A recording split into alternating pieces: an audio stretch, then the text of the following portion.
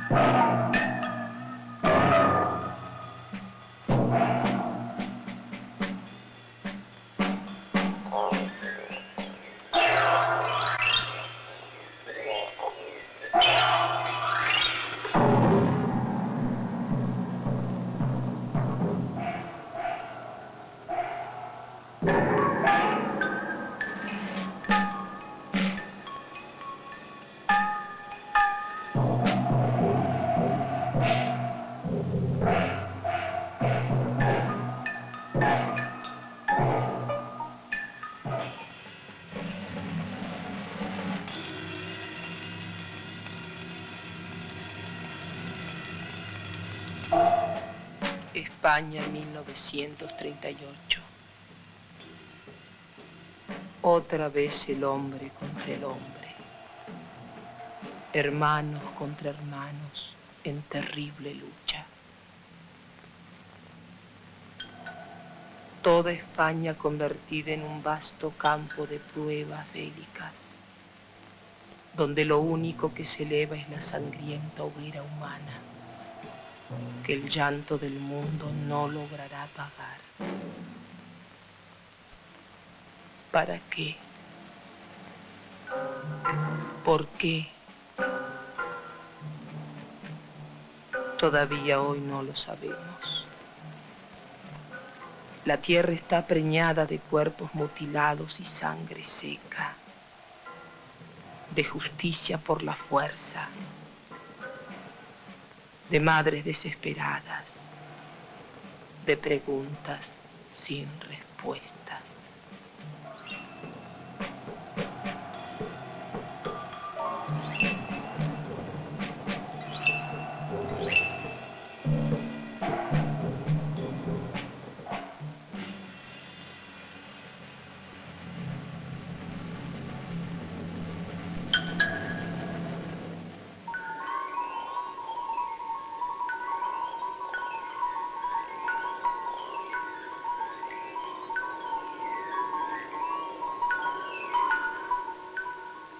Luego la aparente calma, cimentada sobre cráneos deshechos y frente a los ojos que desde la muerte siguen mirando. Mas todo hay que taparlo con pétreas murallas, donde no puedan verse las tremendas torturas físicas y psicológicas.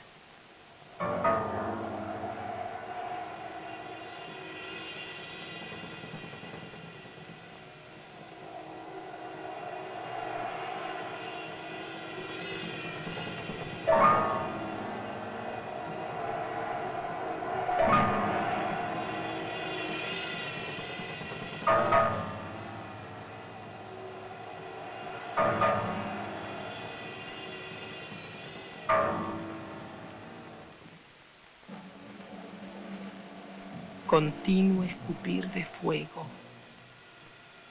¿Para qué? ¿Por qué? Es la pregunta del artista Raquel Forner. Y como ella, la de millones de madres del mundo con sus hijos cansados, hambrientos en esta vida de muertos.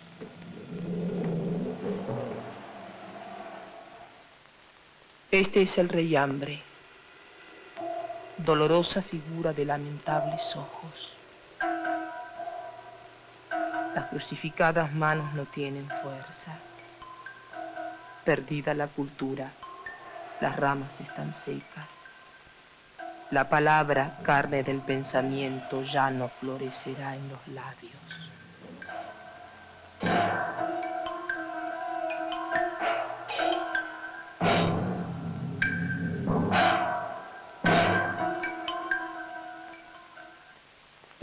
La muerte camina con pasos ligeros y llega como actor principal del drama.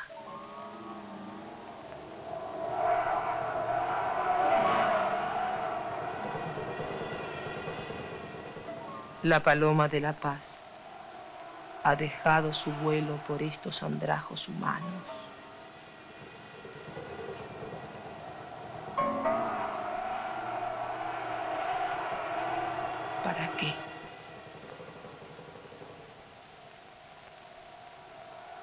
¿Por qué? Todavía siguen preguntándose estas madres. Qué lejos está el amor. ¿Dónde los hijos perdidos en el vasto cementerio que todos llamamos suelo? ¿Habrá pasado el ayer?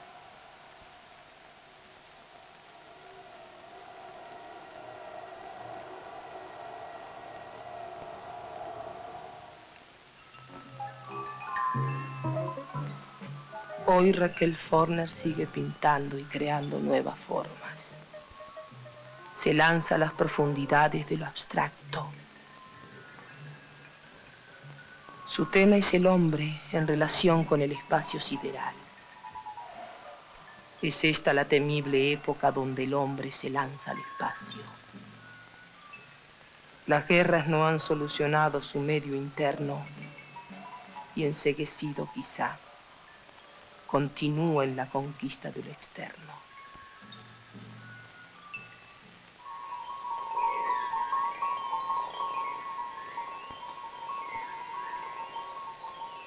Hoy es la luna. La ya disputada luna.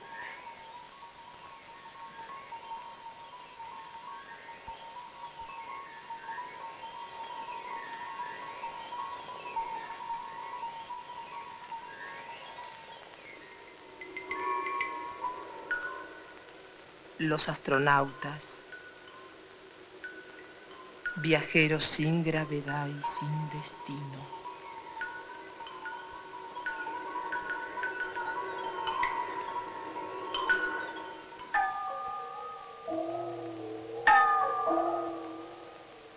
Los astroseres, expectantes en el misterio.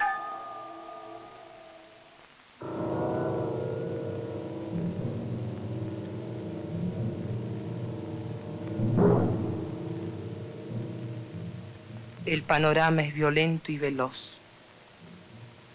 también sangrante.